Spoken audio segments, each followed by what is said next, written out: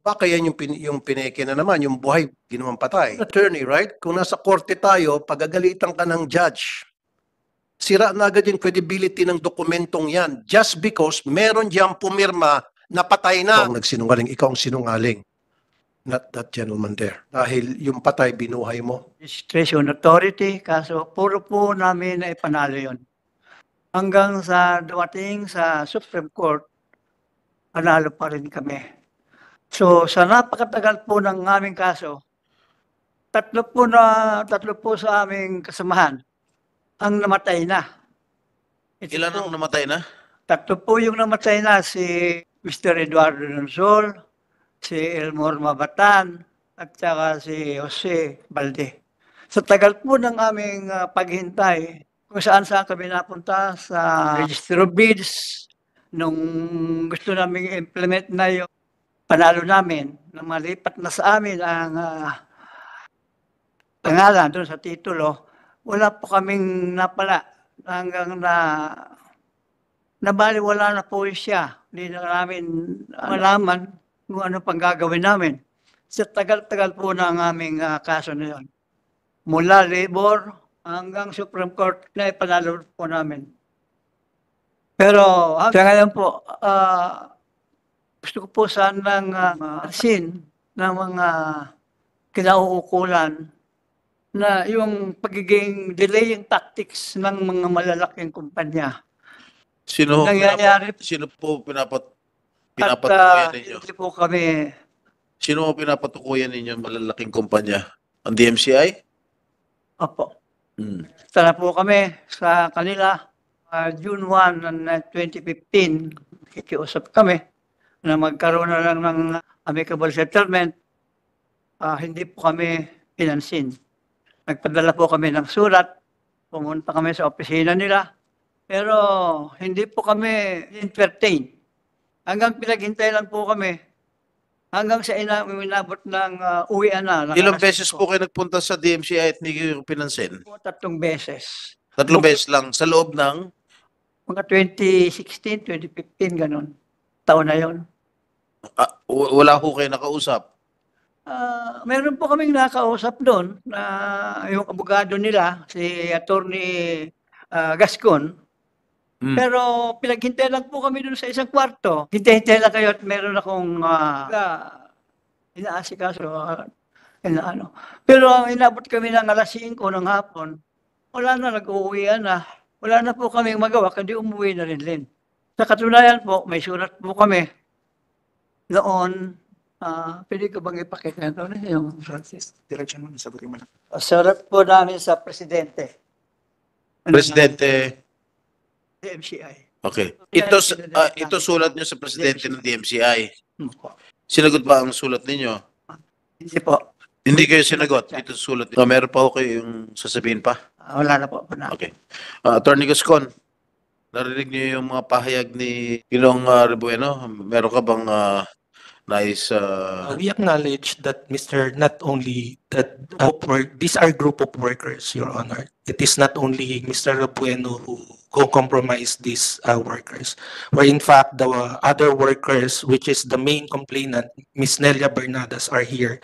And I think uh, Mr. Bueno is not. Uh, I'm sorry to say, but uh, he is not truthful. how, how, how did you say that he is not truthful? Your Honor, they went to the office, they're asking us to be compensated. uh, they want to, to get the, what you call, their award from the, the labor. Unfortunately, uh, they're saying have to pay them. But Your Honor, uh, in their various pleadings, they are not the only one claiming in the MCI because there are other parties who are already uh, stating, coming to the MCI, not only them, that they said that they already sold their rights to the case. And uh, during the time honor, it is not only one party, but only various parties, Your Honor. And we talked to them. They said that if we want to settle you, uh, we have to settle also the, we have to call the other parties that uh, allegedly that you sold your rights. So we, is it like this, Your Honor, that uh, various groups are already coming to the MCI stating among others that they are already the owners? We, we conveyed to them that uh, in order to avoid any any suits or any conflicts anymore, Your Honor, we asked them that all parties should come together and we go to the to the labor arbiter to settle once and for all their claim.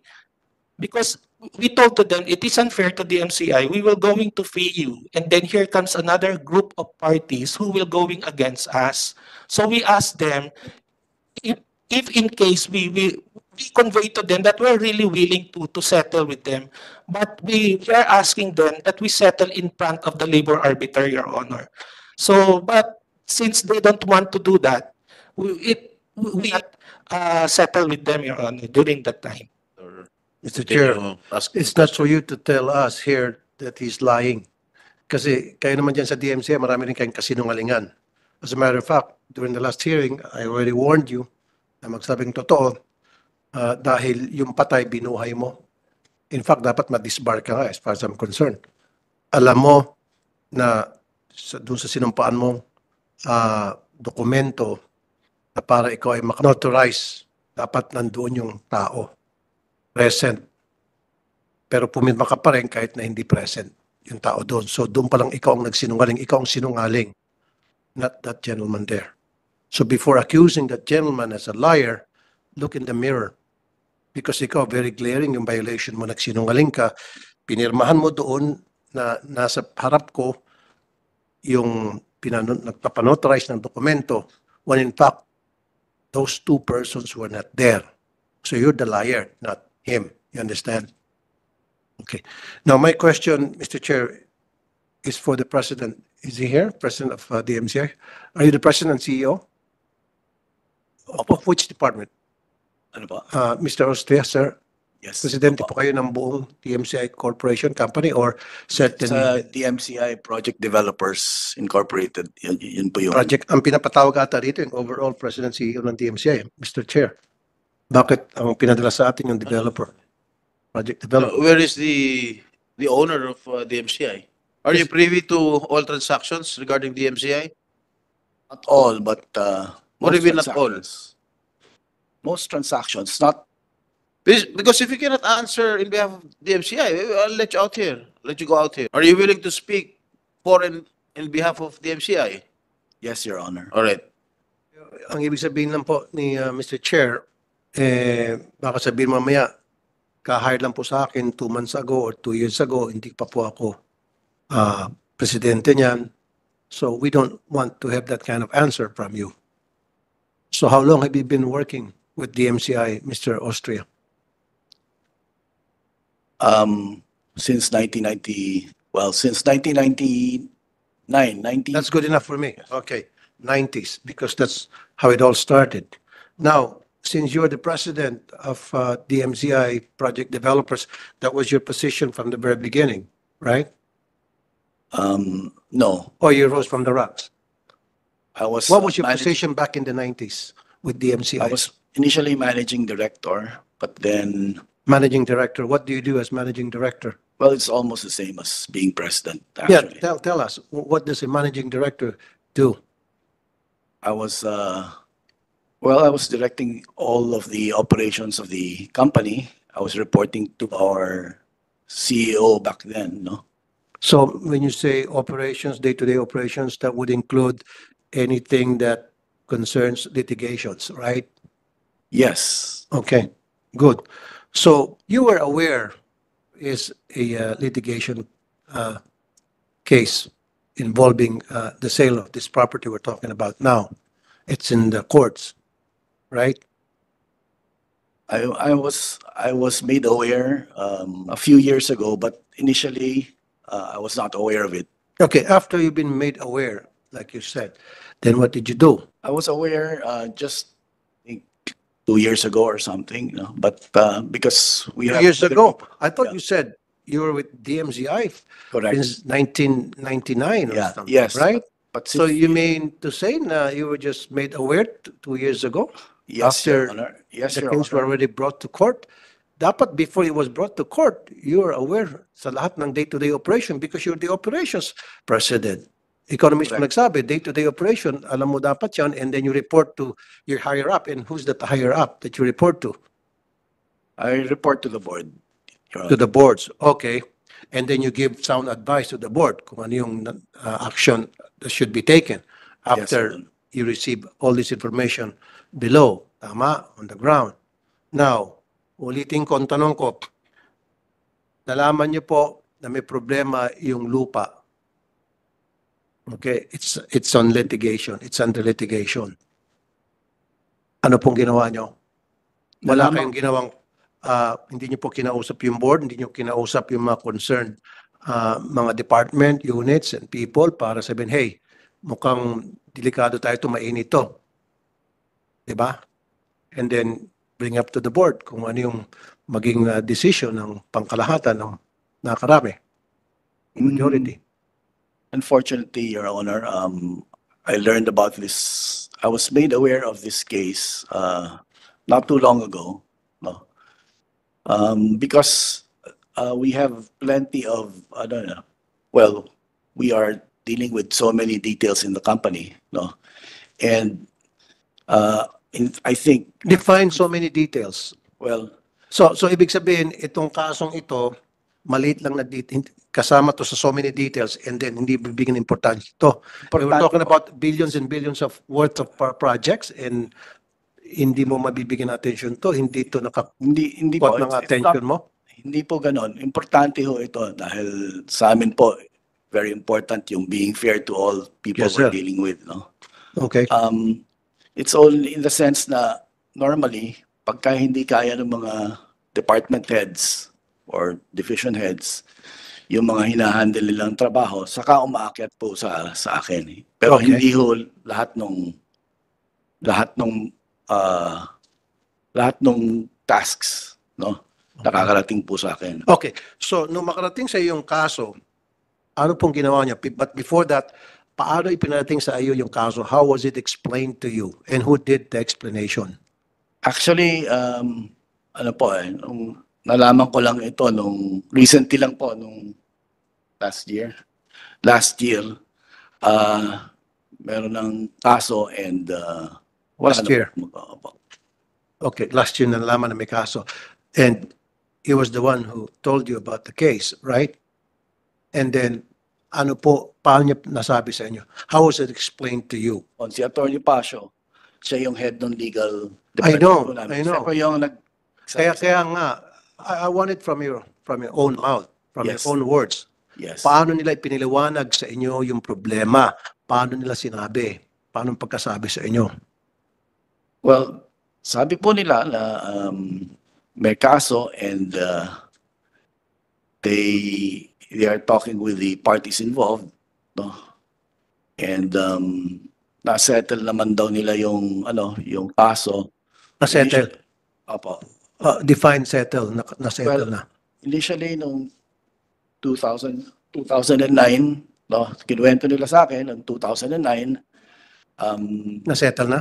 sinettle nila Let me yung cut you off. Eh, sabi niya, How was it settled? So with the permission of Senator Tuan. How was it settled? If it, Binayaran po if yung it was already settled, how come they're still here and complaining? Opo, uh, Oh. according to our According to who? to our lawyers po, Oh. nag, nagbayaran, binayaran po sila nung, nung hinihingi na lang amount. Sino nagbayad? Ang DMCI po. DMCI. Pera ng DMCI? Opo. Oh. Eh kung binayaran sila, why are, sti- why are they still complaining? Yun nga po ang hindi namin maintindihan. Hindi ba kayo in-inform ni Atty. Gascon tungkol sa kasong to? Him being the, the legal counsel of the MCI? And you only knew it last year? And this has, this case has been ongoing since 1996. And you were employed by the MCI in 1999. Yes. Should have briefed you regarding these cases. This case. Oh. Tapos ngayon, wala kang ano. I think the reason why hindi nila ako in-inform about it kasi po in their in their minds nasettle na yung case po. In their minds. Oo, nagbayad. How much did you pay them? How much did you, did they, did they, did you settle dito sa mga complainants? 1.9 million po. Way One back point- in 2000 and 2009. 1.9 Opo. billion? Yes. po. Million. 1.9 million. Million. Million. Who were the beneficiaries? The workers po ang nabayaran po. Uh, sige, I will go to you after that. Sige, Senator Rafi, you may. Okay. Uh, let me go back to uh, Mr. Rebueno. Okay, Mr. Rebueno, sabi mo sa akin kanina, dito, uh, hindi kayo pinapansin. If he's telling the truth, then mukhang may pagkukulang doon sa statement mo. Nasabi mo, hindi ka pinapansin. Eh sabi niya, pinansin kanila by way of uh, kayong mga complainant nakipag-settle. Totoo ba nung, what year was that, Mr. Austria? 2009 po. 2009, nakipagkita kayo sa kanila at uh, nag, nagbigay sila ng 1.9 million. And saan po nangyari ito? Sa office po ng DMCI Homes. Sa, Sa sa office ng? DMCI po. Which office is Sa this? Bangkal po, sa Makati. Bangkal Makati. And do you have the month, date? Okay. Anyway, uh, Mr. Rubueno or Attorney Capuno, since you're the lawyer, Uh, Thank you, Your Honor. Uh, I think, Your Honor, the settlement being mentioned by the president of DMCI back in 2009, this pertains to the deed of redemption of real property, where they claim to have paid the laborers uh, 1.9 uh, million. This was the subject, Your Honor, of the query, uh, the previous hearing, uh, where there was a falsified uh, document forged uh, a party, Marikit, who died already that was notarized by the council of the MCI, Your Honor. I think that's the settlement they are mentioning in 2000, back in 2009. We're not aware, Your Honor, how they paid it, but uh, we're just basing it on the uh, facts uh, narrated by the Supreme Court in their decision. How did you settle them? No, no, no, no. Si Mr. Austria. Binayaran po sila ng cash po. Is it true na binayaran kayo ng 1.9 M o B? Billion. Mil- million. Ah, million. Million po. Oh.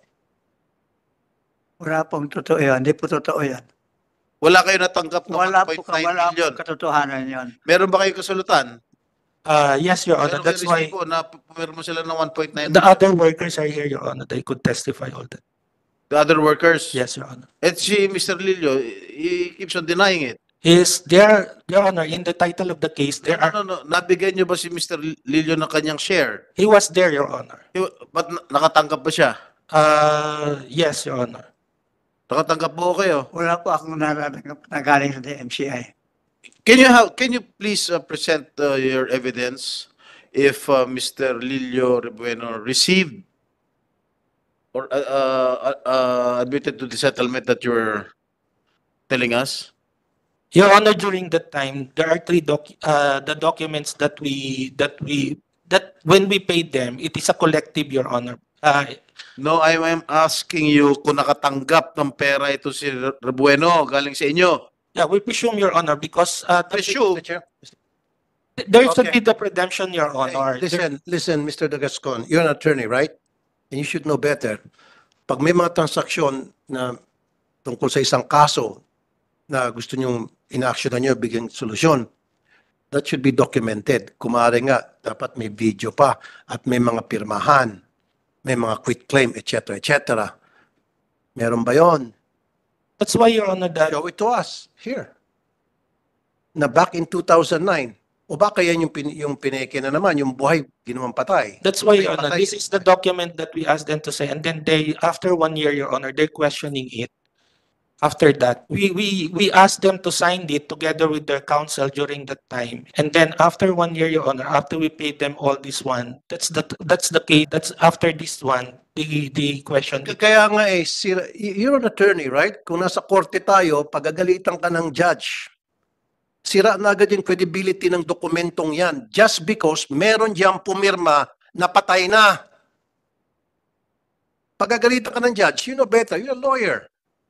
Giba na agad yung credibility ng dokumentong yan, regardless. Hindi natatanggapin yan. Kasi kasinungalingan eh. Fraud. Fraudulent. Involved yan sa dokumentong yan. So, who would believe that? And it will not be accepted as evidence sa korte.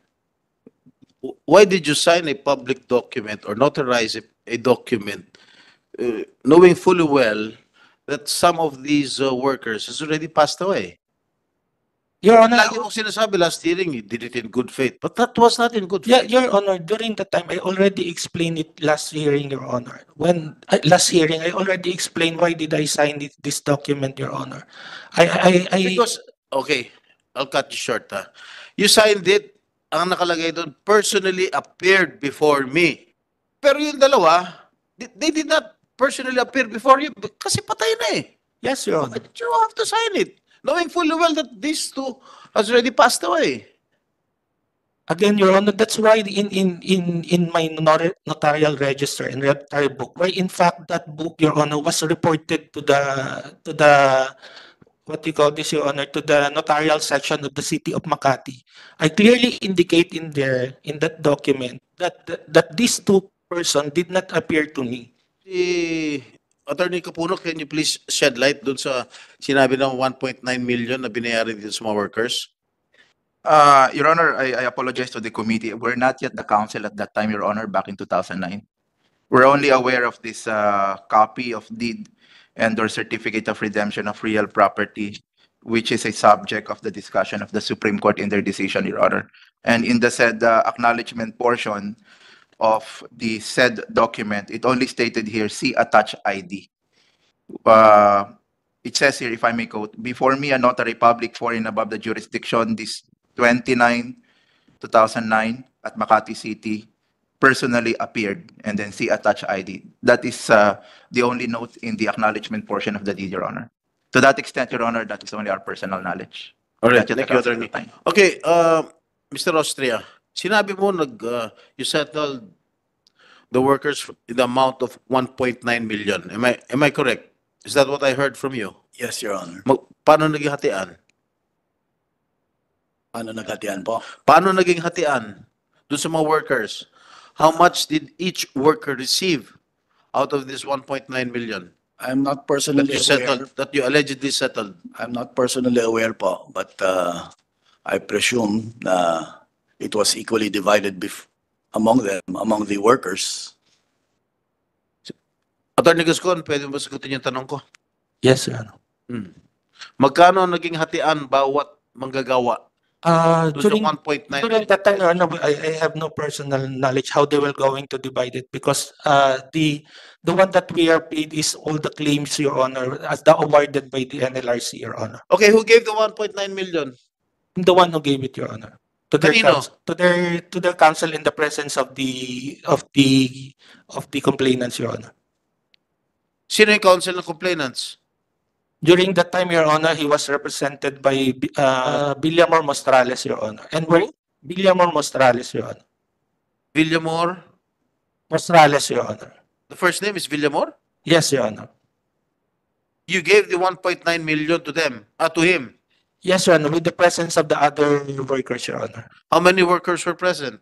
Uh, during that time, there are six. Six, including Rebueno. Yes, Your Honor, he was there.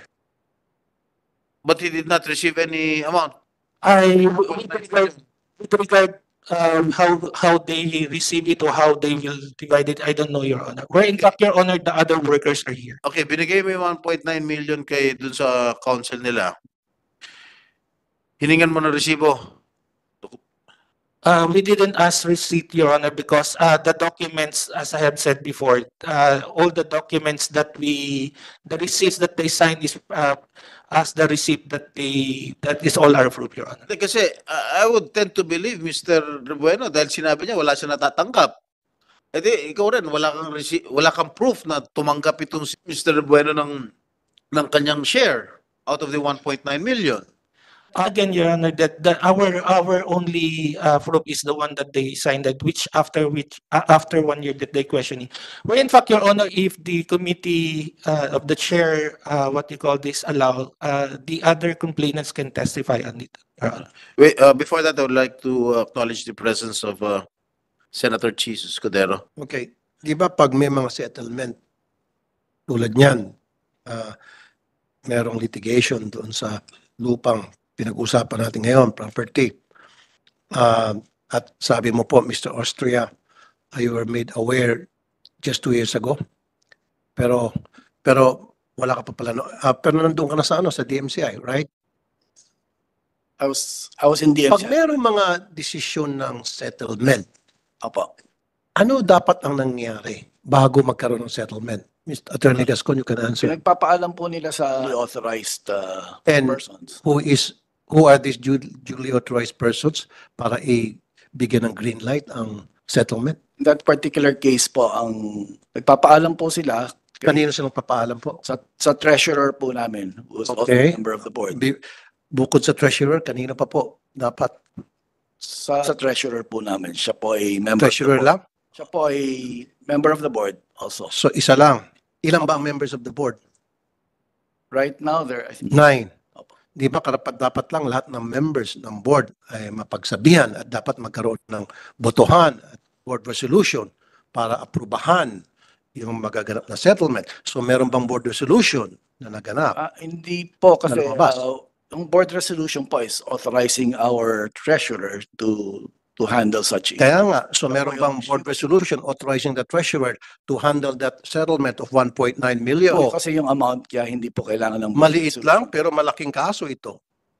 Opo, pero yung board So ibig sabihin, so so hanggang saan ba yung malaki sa inyo na para malaman magkaroon ng res- resolution? Hanggang saan ba yung maliit? Define maliit and define is malaki sa terms po ninyo diyan sa DMCI. meron pong ano in, in our company just like any other companies no merong levels of authorization po Pero eh, may kaso to sa korte eh. Di ba? yes And and that the board must have known it. That this Yung- there is an ongoing case and this case is being settled right here, right now. Dapat man lang hindi na bypass itong board. Sinabi sa board na okay, mag magsisettle na tayo. We're gonna take off the monkey off your backs. Ayusin na namin to. You inform the board and then the board will pass a resolution allowing that settlement to happen. yes Oh, um so a lot of cases hindi na po dumarating sa well board then kasi May mga lapses kayo dito. May mga problema talaga kayo.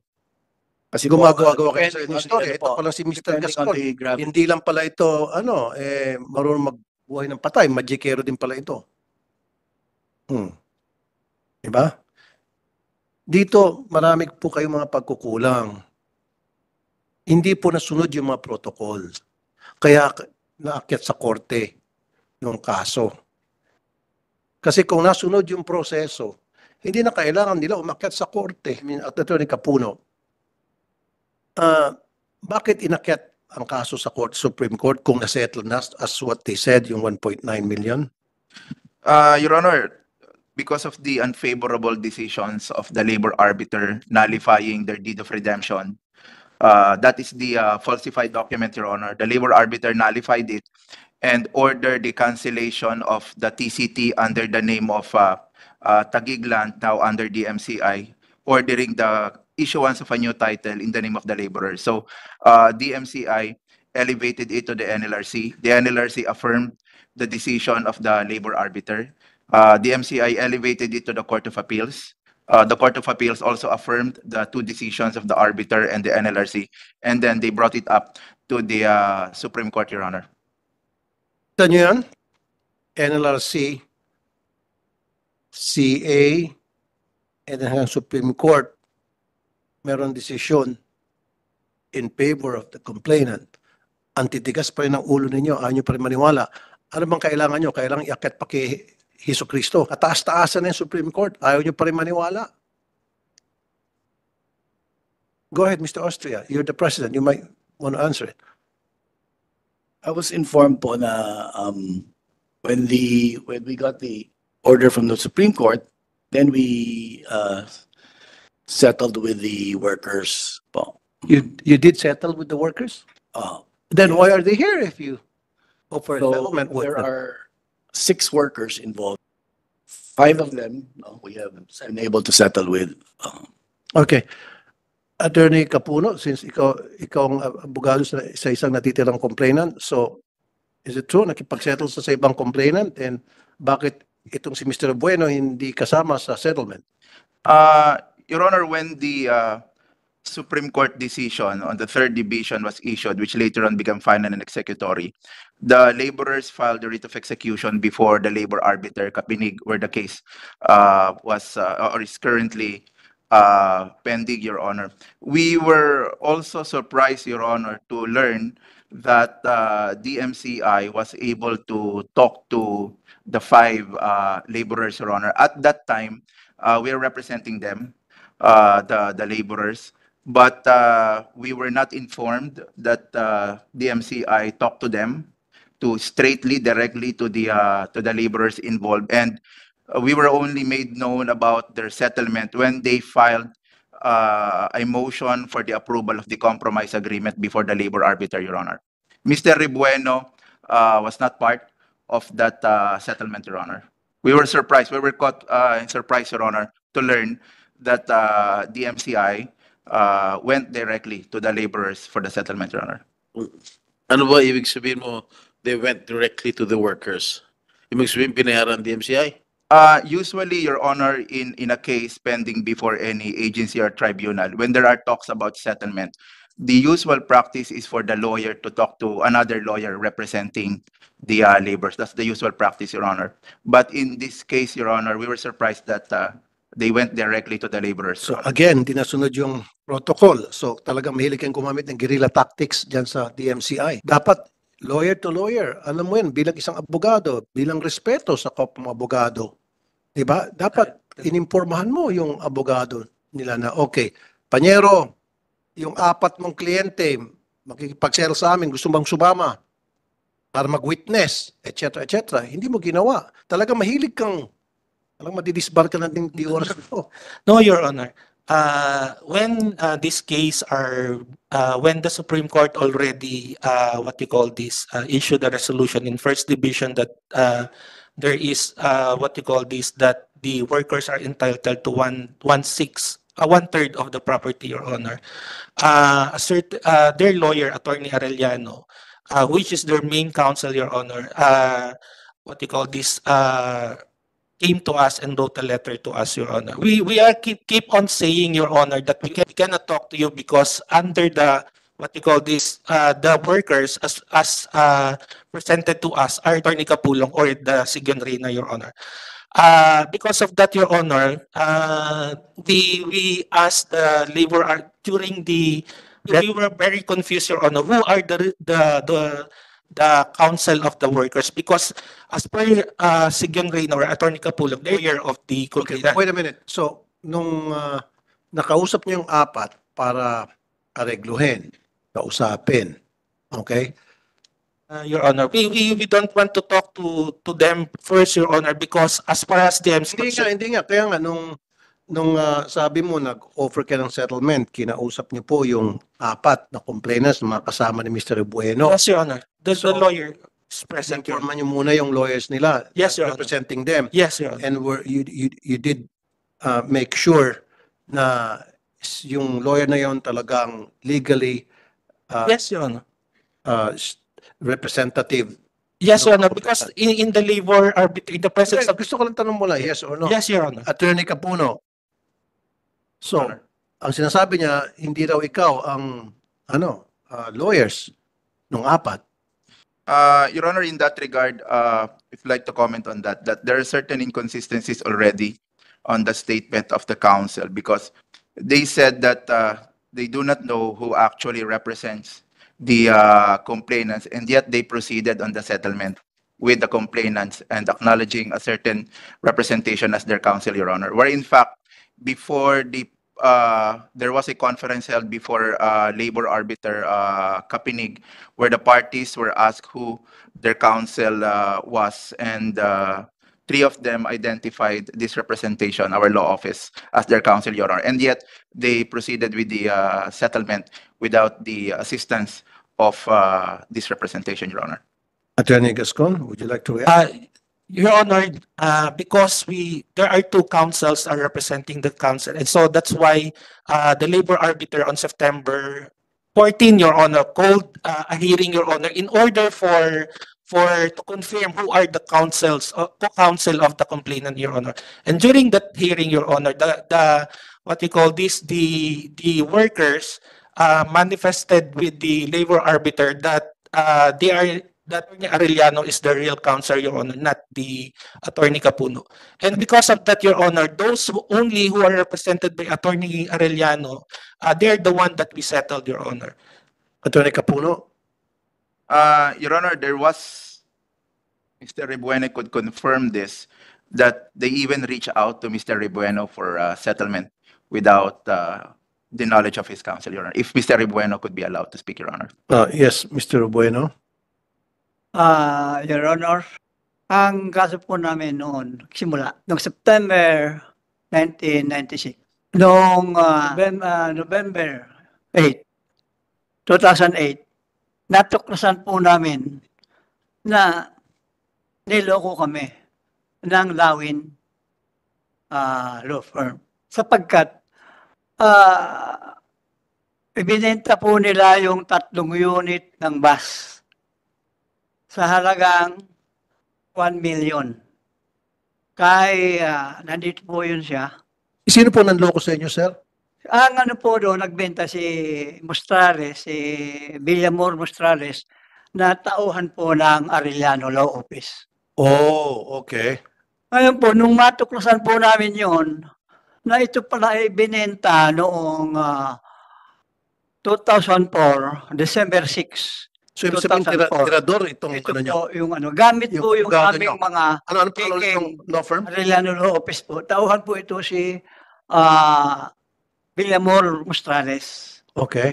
Nung matuklasan po namin na ito ay ah, nagbenta noong 2008, hindi na po namin siya kinuha, abogado, sapagkat ah, gumagawa po siya ng magkilos na hindi namin alam. Kagaya po nito na ibinenta nung natuklasan namin 2008 na. So nawalan po kami ng tiwala sa Arellano Law Office. Sa katunayan po, nung mag-file ang DMCI ng third-party claim noong ah, February 15, 2007, ang sumagot po noon nung ah, motion to dismiss, si Attorney Dosana ang sumagot. Hindi na po namin kinuha si ang Arellano Law Office sapagkat nawalan nga po kami ng tiwala at hindi na namin sila inintindi pa. Yun naman pala, Mr. At- Noong ano po, noong 2000, Yun naman pala, Attorney Gascon. Eh, niloko sila. Manluloko yung kanilang abogado, kaya tinanggal na nila.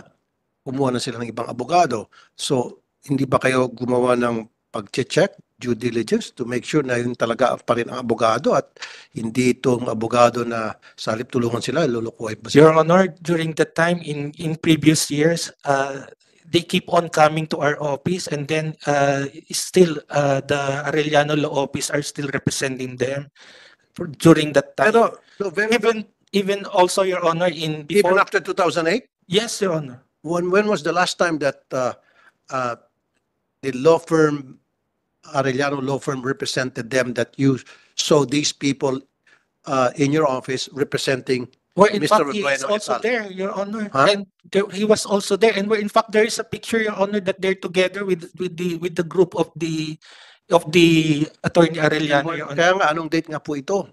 Uh, it's since 2008, 2009, 2000 until 2022, Your Honor, he was there. The Arellano Law Yes, Your Firm Honor, and we're in factoring in the Was labor. Yes, Your Honor. accompanying the complainants, Yes, Your- including Mr. Rebueno? Yes, Your Honor. Mr. Rebueno, sir. Kasi kung totoo yung sinasabi mo, Mr. Bueno, na niloko kayo noong 2008 nilag, dahil ah, binenta nga yung lupa at ah, sinibak nyo na yung kanilang serbisyo, sinibak nyo na sila sa pagiging ah, abogado ninyo, eh bakit, kung totoo itong sinasabi ni Attorney Gascon, eh bakit nakipagkita pa rin kayo sa kanila up to 2020? Mr. Attorney Gascon, up to what year? Up to, to, to 20, during the pandemic, Your Honor, they're Okay. still coming to our 2020 at pupunta pa raw kayo sa opisina kasama to si Attorney Arellano. Di ko kayo mag-react, ah, Mr. Bueno. ah, hindi na po namin talaga abogado, abogado ang lawin. Hindi nga po, kung hindi nyo na po abogado, Ah, marami po. nagigipatas na po ako Ah, dito, sir, ha? Kung hindi nyo na po abogado, sinibak nyo na nga po sila dahil manluloko nga itong Arellano law firm, sabi niyo po, then dapat hindi niyo na po sila kinakausap at hindi na po kayo sumasama-sama sa kanila. Ah, binanggit pa ho nitong si Atty. Gascon, ah, up to 2020, pumupunta kayo sa tanggapan ng ah, DMCI, Your Honor. DMCI and kasama itong si Arellano. Ay hindi po namin kinukuha na talaga kahit sa ang hearing. Hanggang sa ah, LRA, hindi po namin kinuha na yon. Pinutol lang nga po namin yung komunikasyon sa Pero, kanila uh, sapagkat ah, naintindihan po namin na niloloko kami. De, Ginong Lilyo, ang ah, sinasabi ni Attorney Gascon, ang sinasabi nyo, pinutol nyo na ang inyong relasyon dun sa abogado no 2008. Pero, lagi pa raw kayo pupunta sa opisina ng DMCI hanggang 2020. O totoo yan. At meron daw silang Minsan napunta kami doon. Can I show the picture that he was in the office of Attorney Arellano recently? How recent is that? Recent month, Your Honor, I think last month. Only this month, Your Honor, September. Nung nakaraan October. daw, nandun kayo sa Yes, opisina sir, ni. Attorney Arellano.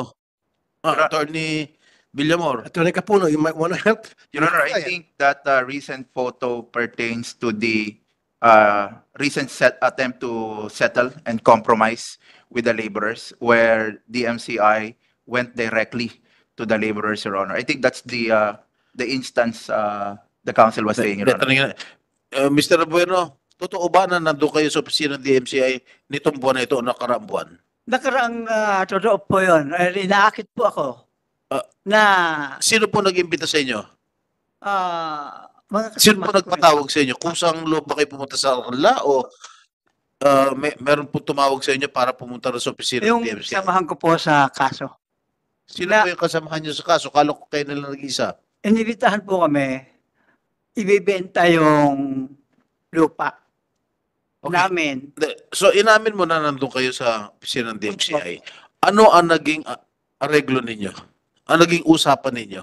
Ang ah, usapan, kinukumbinsi po ako Na na pumirma na ibenta namin sa DMCI ang lupa namin. When in fact, na-ibenta po namin na yun kay ah, Raymond Ang. Nauna na po yun. Nung, so ah, ano ano sinabi nila? ah, Hindi niya, pumayag. ah, ano natin ito, ibenta na natin ito sa kwan. Sabi ko, o sige, tingnan ko yung ano, tingnan ko yung ah, So sorry, Mr. Chair. Uh, yung Mr. Bueno. Mr. Bueno, uh, you have to be very careful dun sa mga answers mo. If you cannot answer it correctly or properly, then consult your lawyer. Kasi nga po, noong tw- 2008, niloko ka na nitong si Arellano Law Firm. Bakit recently sumama ka pa rin sa kanila para makipag-negotiate o makipag-usap? Eh niloko ka na, di ba? Niloko na kayo. O ba't pa kayo makipag-usap sa mga manloloko? Di ba, Ang di intention ba natural naman, noon, sandali po, naturalmente lamang po na kapag yung isang tao na niloko na tayo, huwag na tayong magtiwala sa kanila. Eh, sumama ka pa rin sa sa attempt na magkaroon ng aregluhan. You might want to answer that, Attorney Capuno. Uh, in that regard, because uh, uh, the MCI went directly to the complainants, Your Honor, to the laborers. Regrettably, we were not uh, Were made you- aware. were you the coun- counsel? K- Kailan po kayo naging counsel Uh, nitong si we Mr. were Bueneta? engaged, Your Honor, starting June last year, 2022, Your Honor. 2022. So, noong 2020, hindi po kayong Not yet, Your Honor. So, yung tinanggal niyo po, kasi sabi niyo po, niloko, niyo, niloko kayo ni, ng Arellano Law Firm. Sino pong kinuha yung abogado, Mr. Bueno? Meron bang kapalit na abogado kayong nilapitan, law firm? Pero, Sino po yun? yun po yun si Atty. Vino ah, Attorney Mendoza. Mendoza? Ah, marami po kaming nakuha. Okay, so may, meron ho ba kayong dokumentong pirmahan na kinukuha niyo po ah, bilang retainer at abogado niyo itong si Attorney Mendoza? po kaming file yan. Okay. Wala, So, hindi ko po Ah, itong ah, DMCI na si Attorney Mendoza ang bago naming counsel dahil itong si ah, Attorney Arellano ay niloko kami. Meron pa po kaming kinuha ng abogado si Atty. Mora. Attorney Ah, Raul Mora. Mora, okay.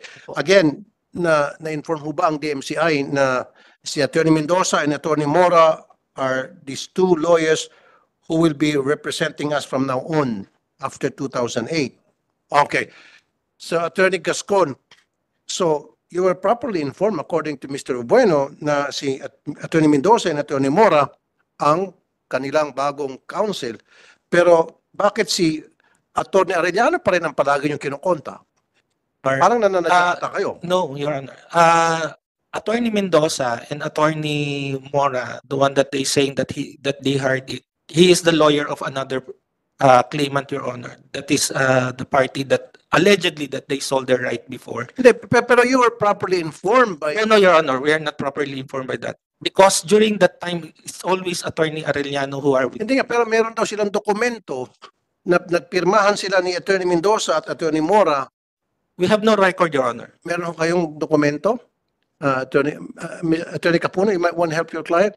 Meron bang dokumento na uh, showing na, it, na ang bagong abogado niyo na ay si Attorney Mendoza and Attorney Mora uh, kapalit ni Attorney Arellano? Meron po kaming, ah, meron po kaming file yan, Meron. Your Honor. And you have that with you? Ah, di ko lang po dala ngayon. Okay. May, may meron po You want to silang present it to us. entry of next year. appearance. Okay. No, at the same time nga po nung sila ay nag-file ng Teka muna. ah, So meron po kayo, entry of appearance. So yun po ipinakita nyo sa kanila. opo. Oo.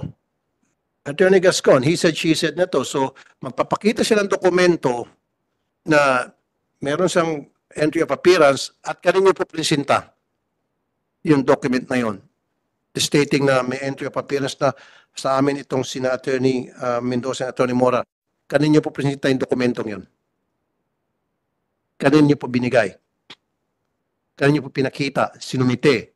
Ang yun po ay entry of appearance. Tapos po, Your Honor, anong Hindi, kanino nyo po binigay yung dokumentong yon sa DMCI? Sino yung sa DMCI po, meron po kaming kopya na ibinigay sa kanila. Okay, so may receive copy. Your Honor, So, go ahead, Attorney Capula. So, gusto ko naman i-clear. So, sabi niya, binigay sa DMCI, so dapat yung may receive. Di ba? Yung parang ni-receive copy. Yes, Your Honor, We have that kind of document, Attorney Capuno. I'm sorry, Your Honor, if I may.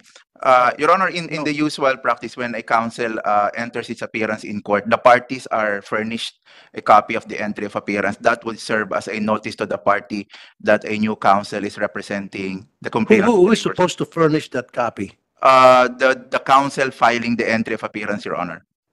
So, that is supposed to be Attorney Mendoza and Attorney Mora. Yes, Your Honor, that They were is part of the uh, records of the, que- of the case, Your Honor. Okay, so since they're not here, we cannot ask them. My question kasi sana, if meron tayong kopya ng dokumento na na-receive yung ah, doc- document na yon na telling the MCI na they are the new lawyers, Yes, Your Honor. you might wanna ano, look for that. We'll, we'll check the records, Your Honor. Okay. Kasi kapag merong ganong dokumento, then may problema na naman tong DMCI. Binaypas na naman nila yung mga abogado na totoo, Your Honor, na yun talaga ang legit. Your Honor, Your Honor, if I may add on the discussion regarding the uh, alleged settlement in year 2009, as mentioned uh, earlier, if I may quote the portion of the, the decision of the Supreme Court, uh, it stated there that, I quote, "The above cited statement demonstrates that the signatures of respondents were pro- uh, fraudulently placed in the, s- in the said deed of redemption and quitclaim. Villamor A. Mostrales, open close parenthesis, Mostrales, the representative of their previous counsel gave them 100,000 pesos in the guise that it was the proceeds of an open close close the insurance from a a surety company and they were made to sign blank pages with their names. However, before the LA, it was shown that it was Attorney Gascon, the lawyer of DMCI, who gave the money to Mostrales believing that the latter was a lawyer.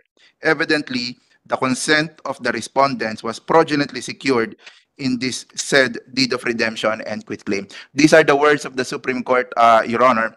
Uh, if earlier it was mentioned that there was a settlement made in year 2009, but the findings of the Supreme Court stated that it is not 1.9 million that was given to the respondents, but only 100,000 pesos only. And it was not as a settlement of the labor case, but only uh, the proceeds of an insurance from a surety company, Your Honor. I'm just lifting the, the findings of the Supreme Court, Now, Your Honor. Attorney Gascon, tell me, tell us, nagsisinungaling ba ang Supreme Court doon sa inisyu nilang uh, statement? That's the finding of the Supreme, but we filed Sino mas paniniwalaan ko? Ikaw o Supreme Court? Sino ang dapat paniniwalaan ko? Sige, sumagot ka. Be careful with your answer. Of course, Your Honor, it's the it's the wordings of the Supreme Court. and- Exactly. There you go. Base sa sinabi ng wording sa Supreme Court, ikaw ay sinungaling. Sinasabi ninyo, dyan sa DMCI, na nagbayad kayo ng 1.9 million para sa lahat ng complainant. Pero ay, para para areglo doon sa kanilang claim. Wala sabi ng Supreme Court, hindi, 100,000 naman binigay ninyo at niloko nyo pa. Hindi nyo sinabi ka areglo, kundi, repeat it again, Attorney Gascon. The 100,000 is for I quote, sir, uh, the hundred thousand in the guise that it was the proceeds of an insurance from a surety company. insurance from a surety company in the guise. See? Ibig sabihin, niloko nyo itong mga tao. You said 1.9 million. The Supreme Court said no. 100,000 lamang. You said the 1.9 is para pang areglo. The Supreme Court said no. Walang 1.9, meron 100,000 pero yun ay para ah, sa insurance. In the guise na yun ay para sa insurance at para sa surety. O sige, sabihin mo mali ang Supreme Court. Sige, subukan mo. No, Your Honor, I, I'm not saying that the Supreme Court is uh, wrong, Your Honor. Uh, Very clear yung wording sa Supreme Court doon. Hindi naman, the Supreme Court will not come up with that kind of decision, with that kind of wordings doon sa dokumentong binabasahan, binabasa ni Mr. Capuno, without all the, the documentation presented to them, all the pieces of evidence, the Supreme Court did due diligence. It, it, it took them years before they come up with that kind of decision. Hindi ka tulad sa'yo, moro-moro ang decision mo, moro-moro yung pinagagawa mo. Kaya nga, yung buhay, kaya mo, yung patay, kaya mong buhayin. Your Honor, the, the one, uh, the one that would distribute that is Mr. Mostrales, Your Honor. It's not, it's No, let's talk about the Supreme Court ano decision. Yung wordings doon sa sa dokumento na galing sa Supreme Court. Nasabi mo 1.9 million pesos pang areglo sa lahat ng complainant. Right? Sabi ng Supreme Court, it didn't happen. Kundi 100,000 lamang. At yung 100,000, eh nyo pa sila. Sinabi, eh yan ay para sa insurance. Yan ay para sa insurance at uh, surety. Hindi areglo. Oh, Attorney, excuse me, Senator Rafi. What is the, you filed an MR before the Supreme Court? That's uh, in the first division, Your Honor. We filed the MR, partial reconsideration, Your Honor, because uh, uh, the Supreme Court already uh, uh, gave a pronouncement that the one-third is, uh, Ano decision yung binabasa mo? First Division, Attorney Capuno? Uh, I'm reading the first, the Supreme Court First First Division Division, decision, all right. You filed an MR before the First Division. partial MR, the, has, has it been resolved? Not yet. Not- So i- it is most unlikely that uh, they will not uh, reverse their own decision. What if they uh, deny your uh, MR? Uh? Your Honor, if, if they denied your OMR, that's why uh, recently we already, uh, when the Supreme Court uh, decision came that they are only entitled to one-third, uh, the complainant already, the because Your Honor came uh, again to the MCI for settlement, Your Honor. binanggit mo yung MR, uh, Mr. Gascon, uh, motion for reconsideration. Doon po, Partial, Your Honor. partial motion for reconsideration. Doon po sa naging desisyon ng Supreme Court. Ano yung mga bagong ebidensya isinumiti mo para sabihin sa Supreme Court na dapat pakikinggan kayo dahil nagsasabi kayo na totoo? Kasi ang Ah. sabi ng Supreme Court, 100,000 lamang. Ang sabi mo, 1.9. Ano yung mga dokumentong sinumiti mo para makorek? Kung meron man dapat i-correct doon sa desisyon ng Supreme Court. I'm not the one who filed the, the Well- articles, but You're not the one to, who, who did file that, pero ha, nasaan na yung MR ninyo? Ano mga naka-attach doon sa MR ninyo? Hindi naman pwede mag-attach, magpapadala ka ng MR nang walang attachments. I'm sorry, Your Honor, we don't have the copy of the... Oh. Eh, alam mo, mag-hearing tayo at itong pag-uusapan natin, eh, hindi mo dinala? Eh, abogado ka, di ba? Pag pupunta ka sa korte sa isang hearing, pag may kaso ka, Who filed the. MR? It's our external counsel, Your Honor. It's Huh? our Ulog Law Office, Your Honor. Not you? Not me, Your Honor. Why? I thought you're the lead counsel of uh, the MCI. Uh, we, we have our external counsel, Your Honor. Pe- Pero, ta- da- pero kahit na Mr. Chair, kahit na hindi sila nag-file, at least yung pinile ng council Didn't before, they give you a copy of the Meron dapat sila. MR? Uh, yes, Your Honor. It's in the office, Your Honor. so nasaan na po yung MR? But we will provide, Your Honor, if, Oh. if the... I-provide mo yung MR ninyo, anong nakasaad doon, and then ano yung mga new uh, information and pieces of evidence na prinsinta ninyo para Para Eh, baliktad.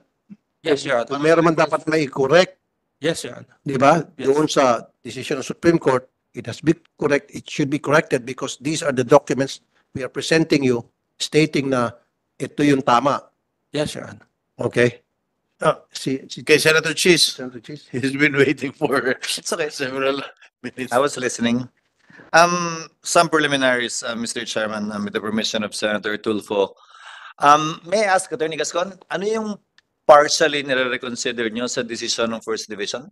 Uh, ag- again, Your Honor, we, we, we raised with the Supreme Court the, their observation first that the, uh, with, regard to this pronouncement that, that, There was fraud. yes, Your Honor. Okay, what else? Uh,